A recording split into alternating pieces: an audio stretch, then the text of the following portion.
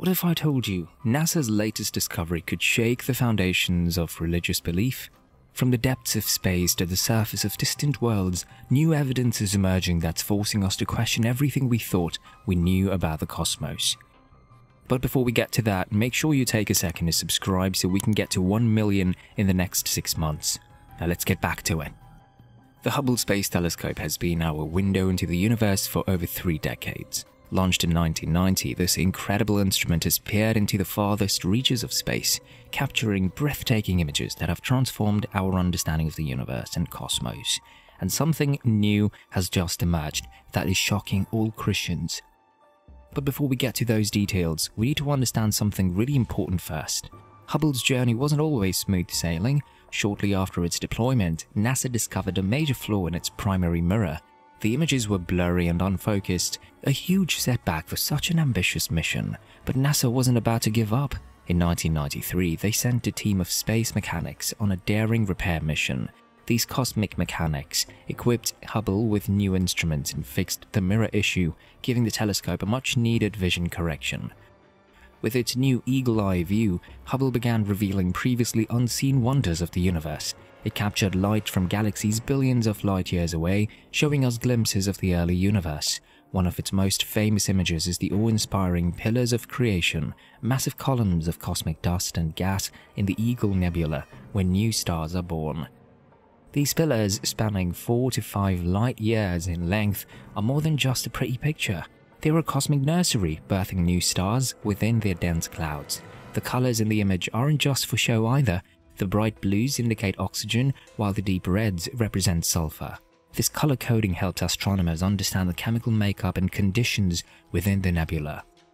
But here's where things get really interesting. These pillars are constantly changing, shaped by the intense ultraviolet light from nearby young hot stars.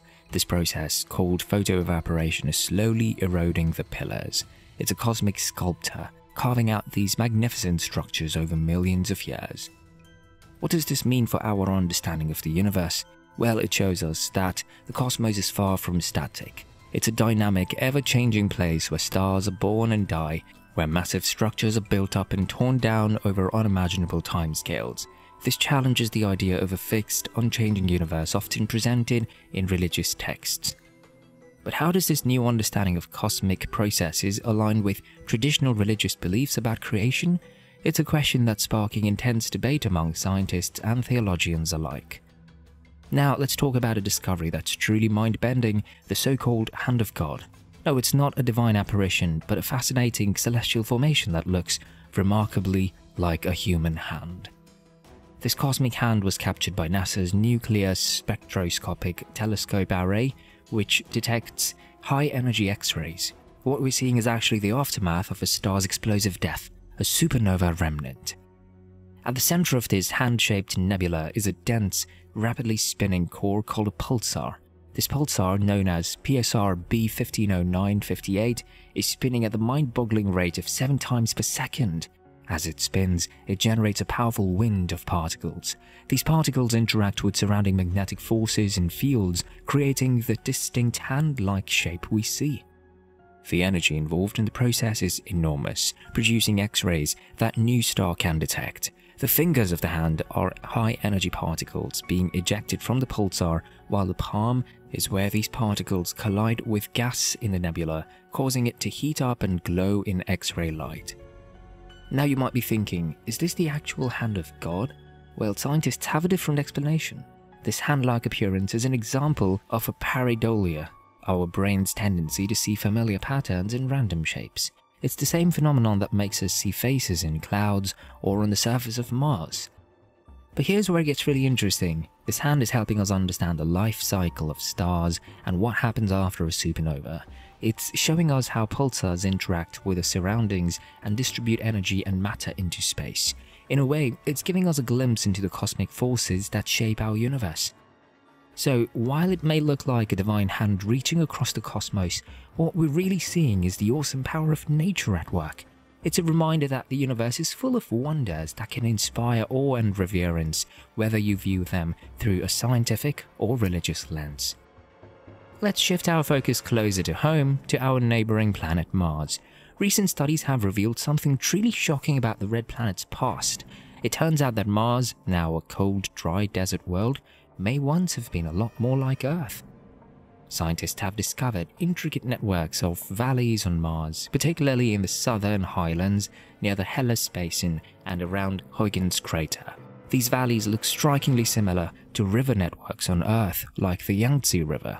This suggests that water once flowed freely on the Martian surface, carving out these impressive features. But we're not talking about small streams here. These valleys are up to 2 kilometers wide and 200 meters deep, that's some serious flow of water. And it wasn't just a brief wet spell. The evidence suggests that Mars had liquid water on its surface for extended periods, possibly between 3.5 to 4 billion years ago. Now, why is this such a big thing? Well, where there's water, there's the potential for life. At least life as we know it. This means that Mars, which today seems so inhospitable, might have once had conditions suitable for microbial life to emerge and thrive. But it gets even more interesting. Scientists think that besides possible rainfall and rivers, groundwater and melting glaciers may have played significant roles in shaping the Martian landscape. It paints a picture of Mars that was once a dynamic, water-rich world, a far cry from the dusty red planet we see today. This discovery has huge implications. It challenges our understanding of planetary evolution and the conditions necessary for life to emerge. By comparing Mars's history with Earth's, scientists can better understand what makes a planet habitable and how these conditions can change over time. The ExoMars mission, a collaboration between the European Space Agency and Roscosmos, aims to send a rover to Mars to search for signs of life beneath the surface. There are even plans to bring Martian examples back to Earth for detailed analysis.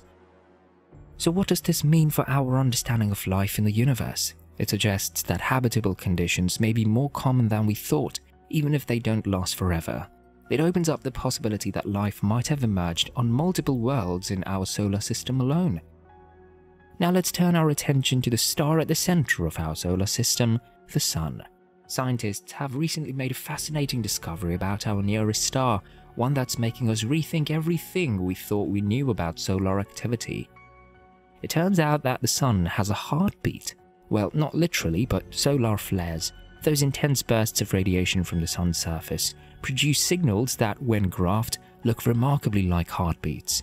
These signals are called quasi-periodic pulsations, or QPPs for short. For years, these pulsations puzzled researchers. They couldn't figure out where they came from and what they meant, but a recent study published in Nature Communications have shed new light on these mysterious pulses. The research team analyzed data from a medium-sized solar flare that occurred in July 13, 2017. What they found was not just one, but two distinct pulsation patterns. The primary pulse occurred every 10 to 20 seconds, originating from the base of the current sheet. That's the region where magnetic field lines break and reconnect during a solar flare. A secondary, softer pulse with a 30 to 60 second interval was observed across the entire current sheet. Now, why is this important? Well, understanding these pulsations could be key to predicting and potentially mitigating the effects of solar storms on Earth. Solar flares and coronal mass ejections can disrupt satellite communications, affect power grids, and even pose risks to astronauts in space. But it goes even deeper than that. By decoding the sun's heartbeat, scientists might be able to develop better early warning systems for these events, it's like learning to read the sun's vital signs, giving us a heads up before it unleashes a major storm. Moreover, this discovery opens up new avenues for studying the sun's magnetic behavior.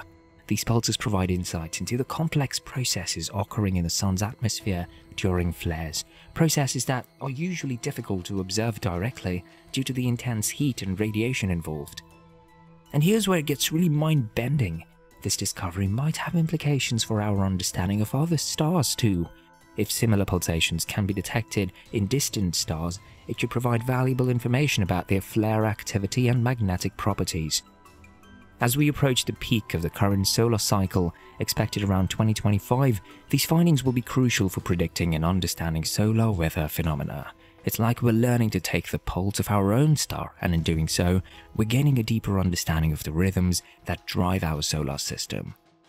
So, what do you think? How might this new understanding of Sun's behavior change our relationship with our planet star? Now let's venture beyond our solar system to one of the most exciting discoveries in recent years, the identification of Kepler-186f, the first Earth-sized planet found within the habitable zone of its star. Kepler-186f orbits a star called Kepler-186, which is classified as an M-dwarf or a red dwarf. These stars are the most common type in our galaxy, making up about 70% of the stars in the Milky Way, the planet is located approximately 500 light years away in the constellation Cygnus. What makes Kepler 186f so special is its position within its star's habitable zone. This is the region often called the Goldilocks zone, where conditions might allow for the existence of liquid water on a planet's surface, a key ingredient for life as we know it. While we have found larger planets in the habitable zone before, Kepler 186f is the first to match Earth's size closely. It completes an orbit around its star every 130 days, receiving about one third of the energy from its star that Earth gets from the Sun. This places it towards the outer edge of the habitable zone, suggesting it might be more like Mars in the terms of energy it receives. Despite its Earth-like size, there's still a lot we don't know about Kepler 186f.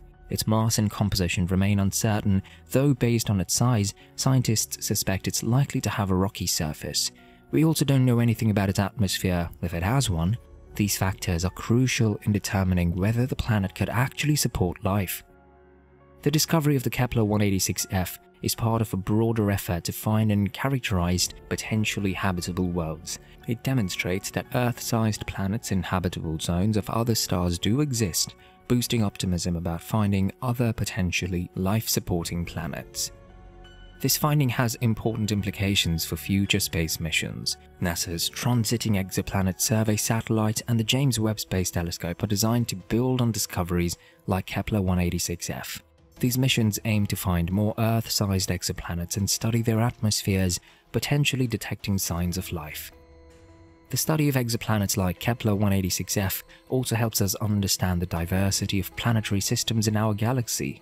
By comparing these distant worlds to planets in our solar system, scientists can gain insights into planetary formation and evolution processes. But it's important to remember that being in the habitable zone doesn't guarantee a planet's ability to support life. Many other factors, such as planetary magnetic fields, atmospheric composition, and geological activity play crucial roles in the planet's potential habitability. So what does the discovery of Kepler 186f mean for our understanding of our place, cosmos? Are we alone, or is the cosmos teeming with Earth-like worlds? As we uncover more secrets of the universe, we're forced to confront our beliefs and expand our understanding. If you made it all the way to this part in the video, you may qualify for our membership, so you might want to listen closely. It's an exclusive area where we release videos that we cannot show to the public yet. You'll get to see everything first and learn about truths that we cannot reveal anywhere else. If you want to learn more, hit the link on the left of the screen or check out the link in the pinned comment.